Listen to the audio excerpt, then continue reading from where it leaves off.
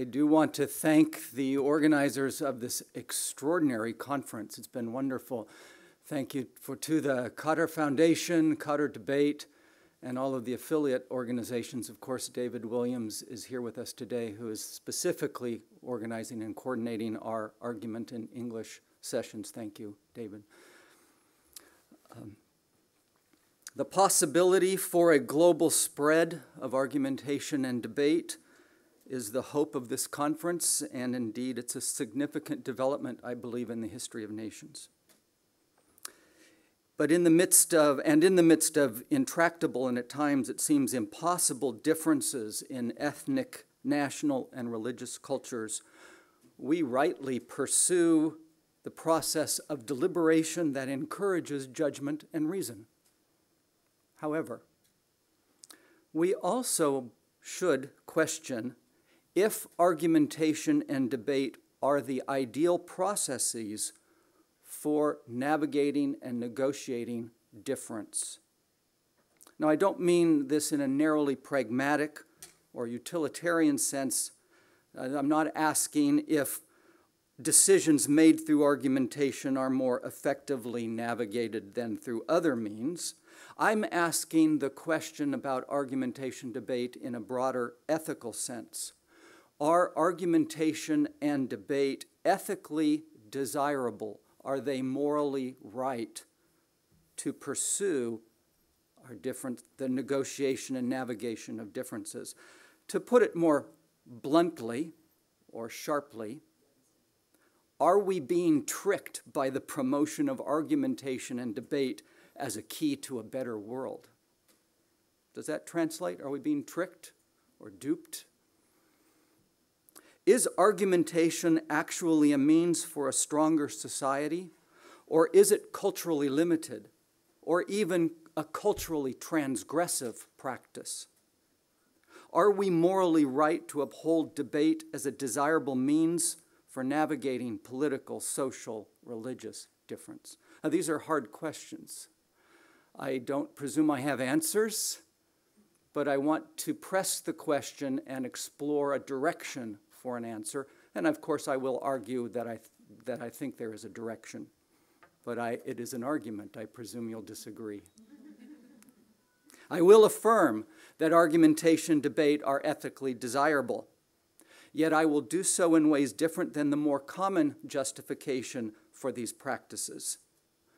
I claim that our accepted rationale for the ethics of argumentation debate in the Western world that this rationale is flawed, and that if we promote argumentation and debate on the grounds of this flawed Western philosophical tradition, that it actually is contrary to the affirmation of political, cultural, and religious difference. So, if we are going to promote argumentation and debate for a better world, we must repair the rationale or justification for argumentation and debate. So that's what I hope to do today. First, I will quickly uh, overview the shift that we need to make in our sense of argumentation. I will look at the Western philosophical tradition uh, and crit criticize that and then suggests that we look to the Western rhetorical tradition, which I believe has also been incorporated and appropriated by even Arab cultures.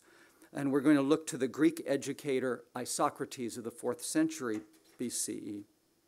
And I think we will find an alternative conception of ethical argumentation than we find in the Western philosophical tradition.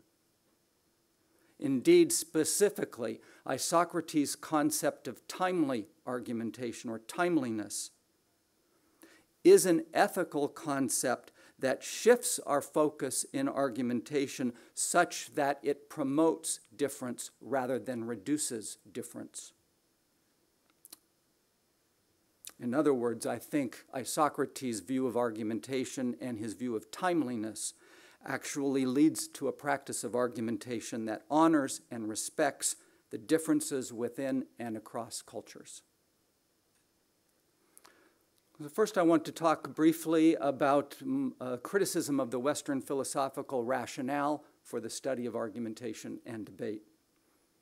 And I am going to rely on one voice for that criticism. Uh, Manuel Levinas is a 20th century French philosopher, and he criticizes on a whole scale, a grand scale, the Western philosophical tradition. And here is a core of his critical insight. I quote from him. This is Emmanuel Levinas. The history of philosophy can be interpreted as, as an attempt at universal synthesis a reduction of all experience, of all that is reasonable, to a totality wherein consciousness embraces the world. End quote. Did you hear the language there? In Levinas's criticism of the Western philosophical tradition, it is rooted in synthesis, reduction, totality, embracing the world. The philosophical quest, according to a, uh, Emmanuel Levinas, seeks to gather together the particulars and structure them into an overall synthesis. This is a totalization process. In Levinas's terms, the other is being reduced to the same. Levinas believes this same impulse of reducing and totalizing is, this, is that's the same impulse as characterizing those who practice violence and war, to subjugate the other to oneself. And those who are not willing to be subjugated are killed or annihilated or marginalized or dismissed or called unreasonable. Of course, the violence is always justified some ultimate good is promoted, and we fight in the name of freedom or rights or God.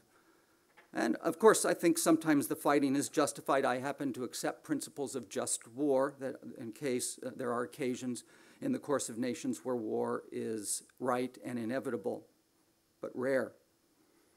But overall, as humans, we seek to avoid war. We ought to seek to avoid war. But Levinas believes that the seeds of war are our commitments to reductivist and totalitarian thinking, in which difference is erased and we seek like mindedness. That's the seed of war. War is its fruition, its fulfillment. The Western philosophical tradition, according to Levinas, spreads these seeds of war. It believes that we are indeed always at war with one another. To quote uh, the British philosopher Thomas Hobbes, the human condition is, quote, the war of every man against every man. Therefore, the philosophy of argument coming from this tradition is going to be rooted in a view of warfare. So, the question is argumentation a symptom or a cure of our totalitarian disease? Well, how do we define argumentation? Perelman, of course, defines it as seeking adherence. It is a mode of seeking agreement. Kenneth Burke speaks of rhetoric as promoting or pursuing identification and consubstantiality. In other words, through argumentation, we promote it in the West because it seeks like mindedness. It seeks turning heterogeneity into moments of homogeneity. It takes otherness and reduces it to the same. Even if the same is given a name, such as reason, we take the diversity of human opinions and beliefs and values and in the name of reason, we seek to homogenize, to agree. We reduce, we totalize.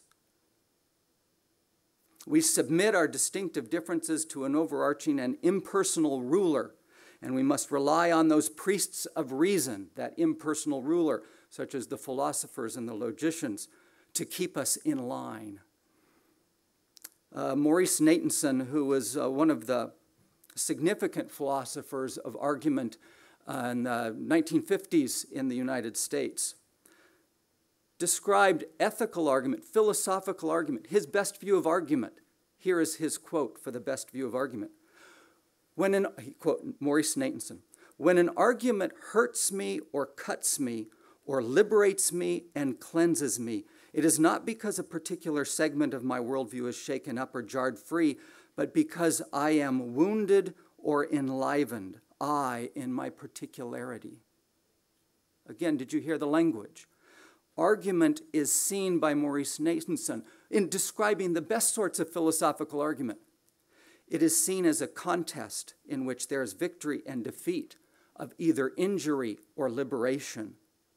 What view of human existence is contained in this view of argument?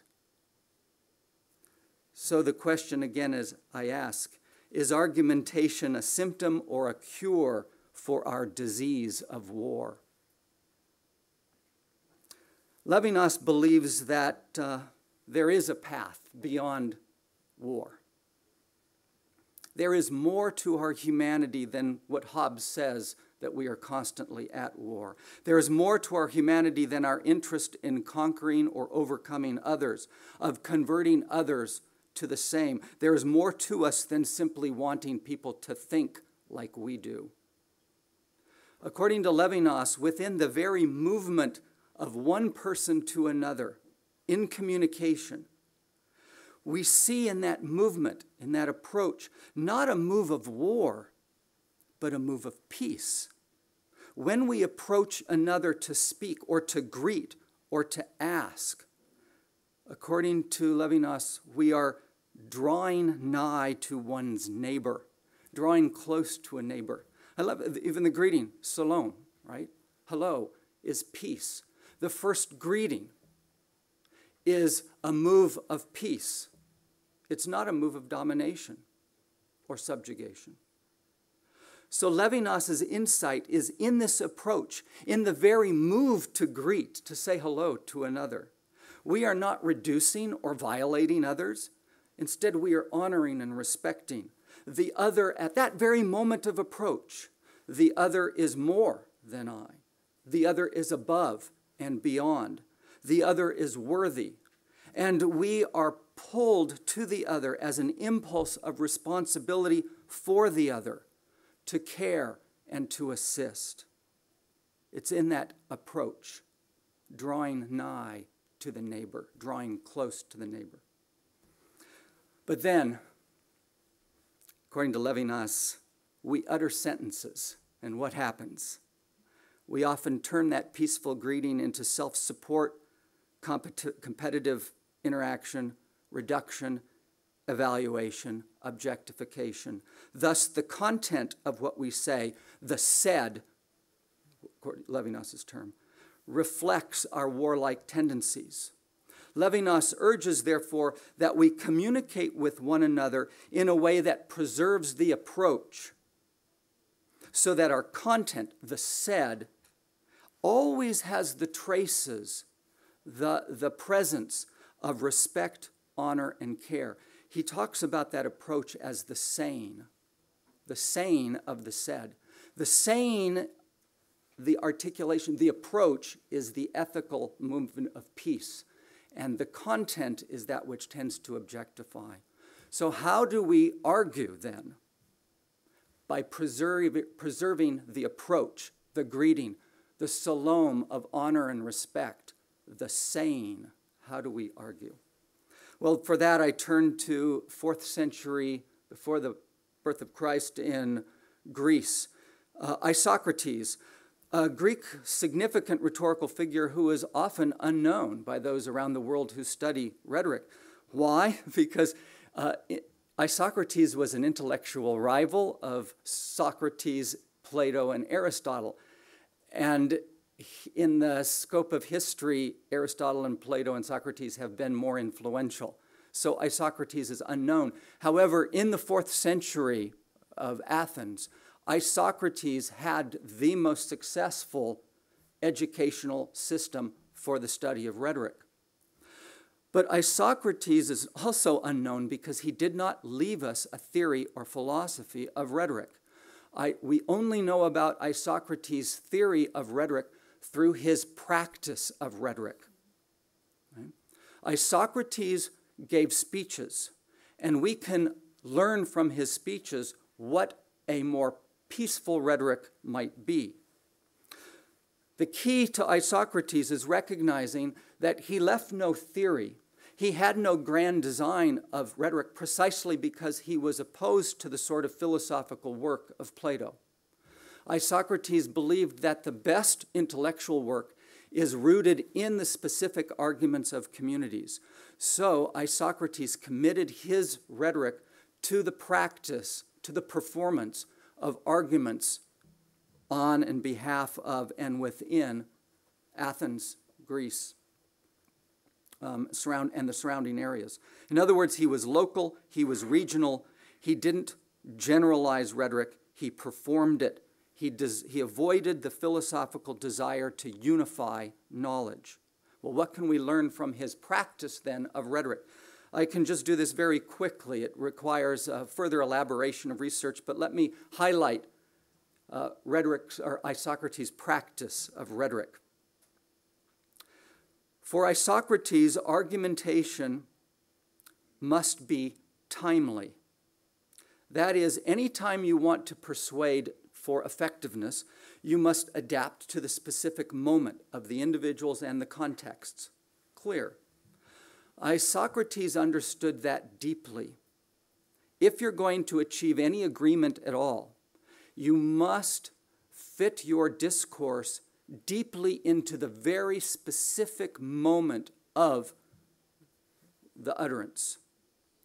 It is timely. If your argumentation doesn't take into account the specifics of the context or the situation, then it will miss its mark. People will not be persuaded. In other words, you must, as an orator, as a persuader, as an arguer, you must seize the moment. I believe the phrase in Arabic is iktanam al fursa. Iktanam, close? Iktanam al fursa, seizing the moment. The time is right, ripe. The time is now. Uh, and we, we've heard that at this conference. Now is the time. This is a ripe, this is the opportune moment to seize for Qatar debate uh, and linking English and Arabic worlds in our debate and argumentation, right? So, to be persuasive, you must be sensitive to the moment in which you are speaking. For Isocrates, this is not merely a strategic moment, but it is an ethical moment. It is a moment in which you participate in the good. Right? How do you argue in a timely way that is good? I describe his mode of argument as attentiveness, that is, it's giving attention to. So, Isocratean attentiveness has two features. First, timely argument acknowledges. Timely argument acknowledges, which means that timely argument, the speaker is receptive to the voices of all, past and present.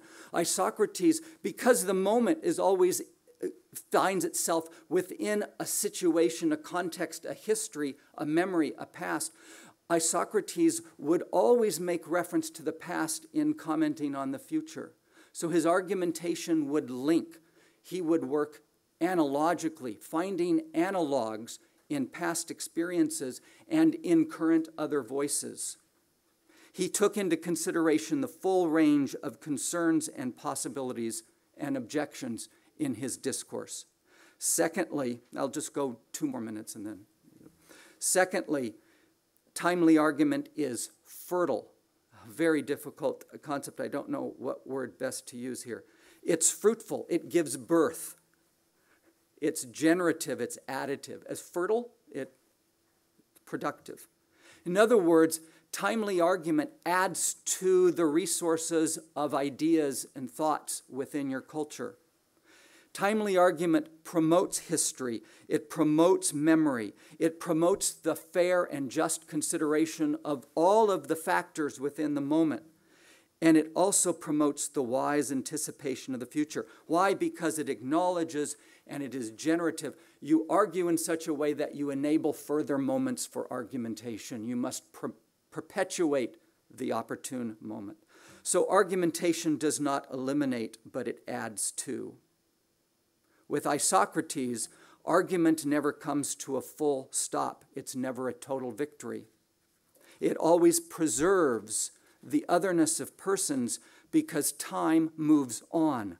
New opportunities always arise for argumentation, and we must acknowledge all the factors that constitute that new opportunity.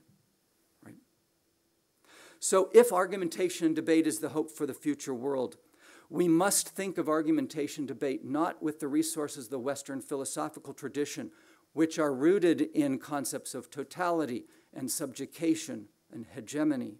Instead, we think of the resources I suggest with Isocrates' concept of timeliness, in which, through attentiveness, we build into and add to the resources of ongoing argumentative cultures. Thank you. Shokra.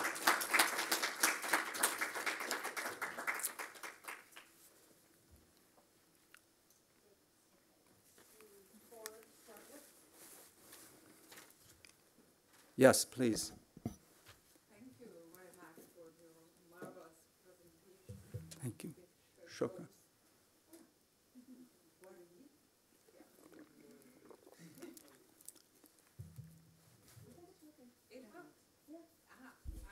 So thank you very much for your marvelous presentation. I'm very happy that I uh, listened to something which go ab uh, above uh, uh, further than only uh, to the battle of the arguments in the Thank strictly uh, uh, logical sense and in the strict framework of fallacies on etc. And you. I would like to to ask you how you see the relation between dialectic and dialogical approach to communication and your framework. Yes. Um, for yes, I, Isocrates would would understand that uh, dialectic process. Uh, well, he was he was not um, fond of it. Okay, because let's to the dialectic is guided by the idea of reasonableness, being reasonable. For Isocrates, being reasonable is an effect or an outcome of his rhetorical practice. It is, it is, a, it is a matter of ethos. So you, you construct and develop what counts as reason within your culture through your timely argumentation. So, reason, the concept of reason or dialectic, does not determine or shape or constrain or control your argument. Rather, your argument helps shape and control and constrain what counts as reason within your interaction with others. So, in that sense, the concept of reason and what it is to be reasonable is always up for grabs. It's part of what we argue about. So the concept of reason is not a tool to discipline argument, it's one of the topics that we should argue about across cultures. And we may disagree, right? Okay, thank you uh, very much for the inspiring presentation. I really like it. It touches on our hearts and our feeling. And the reason why I'm saying this because I lived in the West for about seven years. And all the time that I speak to somebody, he always have the feeling that he's the reference. I mean, he's the reference in his way of life, in his way, in the way how he do his business, the way how he interacts with colleagues and so on. And when we argue, you know, and we come across something that is, uh, I would say, in agreement with the way he lives and the way he thinks, he becomes happy, isn't he? you know. It and when it's happy, Heavy. yeah. uh, and he smiles and things like that. And when, when it's the opposite, then he tries to argue, yeah, it's not like that. You don't try, you need to, to, change and things like that. So, do you think that this is really a, a reflection of the structure of power that is uh, that is going on? So, the, the, this feeling of superiority of the West is what gives them that their arguments is uh, should be uh, should be should be better, should be applied, and so on. And the others, especially in the Middle East, are still have long way to go before they uh, fit to the to the uh, to the I would call it the Western reference. Yeah. Are you asking if, if there is a, a culture of superiority as part, in the Western tradition such that? and this is the that would- reflection of the power structure because they have the power now. They have, they think that they are happier. um, they're the- they are rich. Yeah, yeah, my argument, yes, I wasn't making, uh, uh, that may be true, but that, that's, that's not what I am trying to say here, is it's not that the argument is embedded in political or military structures of power, and that is the danger. It's that the, the philosophical framework that the West uses in argument, that is the, that according to Emmanuel Levinas, is dangerous.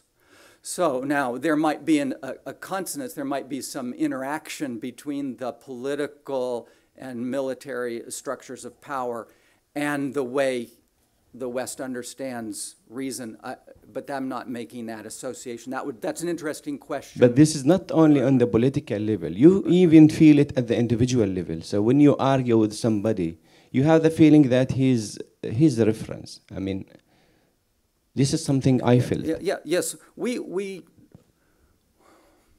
we argue to win.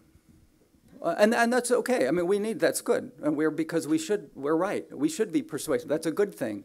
And that's honoring and respecting. And we all should do that. But, but the danger is we, we use our victory then to marginalize or dismiss or harm or neglect others. So the focus is more on our self achievement as arguers rather than our care and concern for others. So argument should be a way of extending grace and favor and mercy to others and care for others, not a way of itemizing, objectivizing, and dominating. So that's, I don't know if I'm getting, thank you. Question at the back here? Yes. Uh, You're way down the list, sorry. interrupt. Thank you. Thank you for your presentation. Uh, um, I'm Juha Reikke from Finland. So uh, you just gave us uh, uh, some sort of a meta-analysis of argumentation. Yes. Uh, would you say that this uh, requirement of timeless, Yes. concerns also this kind of meta-analysis? Because it came to my mind that perhaps Levinas is sharing the view he is criticizing, namely the view that people should agree with him. Yeah, oh, of course. Yeah. Uh, well, actually, Levinas is, is very sophisticated philosopher. Levinas actually has a philosophical style of writing that makes it very hard to understand him, which is probably part of the strategy that he uses because he knows there is uh, th- that within the realm of the said, the content, there is always violence. So, therefore, he is writing very metaphorically. I would call it philosophical poetry because he is trying to encourage us to recognize the moments of peace. And it's hard to do that while describing them. I have then been very violent in my description of Levinas today, but it's a necessary violence, he would say. So, yes, even this meta analysis, um, we are always risking and that's why we must try to speak uh, in timely ways so to open up opportunities for further engagement. Thank you. Okay, just our last question. Uh, really enjoyed your. This is the second You- time I'm you are sorry, killing. no, There were, there were five hands immediately. Well, you, there were also five hands for the speaker before. That's how it goes. Afterwards, we can, I want to hear. Oh, yeah. No, it's your turn. It's, did you get it? Did you get the microphone? Thank you. Um, generally, very sympathetic with your project. Uh, enjoyed your presentation, but I spot a major aporia that complicates your treatment of Isocrates. Let me quote. Maybe we don't have time for your No, comment. no, it's just. I'll just. I just want to read one quote. Yes, one please. From uh, From Isocrates, go ahead. Panegyricus 15. Yes. We must compose our enmities against each other and turn against the barbarian, rehearsing the misfortunes which have come upon us from our mutual warfare and the advantages which will result from a campaign against our natural enemy, these men do not speak the truth, but they do not start at the point from which they could best bring these things to pass. Yes, I It is. Isocrates. Hold on, let me finish this Uh, one. no, this no, one. go ahead, please. It's it is enough of an aporia for your approach that he is labeling anyone uh, a barbarian Right, who is not able to reason. Further complicating matters, though, is the barbarians were the Persians occupying what is now the Middle East. Yes. Um, I, I, I am reconstructing um, parts uh, of, of Isocrates' practice, and I am doing it very charitably. I'm looking for the best in that man. He was very much a product of his culture. Uh, however, within his culture, and this is where I'd push back a little bit, his view of the barbarians and his view of Athenian military victory were actually very different than many of his uh, fellow Athenians.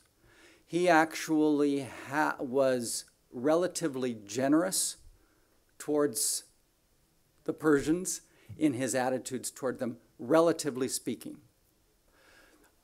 Timely argument is linked within specific cultures, and consequently, there will be much we disagree with. I would use Isocrates' own practice to critique his own views. So I think critiquing Isocrates' imperialist attitudes or bar- uh, attitudes for barbarians by a timeliness, I think he would have to change his views. So I am using his theoret- theory to generate a critique that I would use against him as well. Thank you. Let us thank Kenneth Chase, and I'm sure we'll all want to speak with him more afterwards.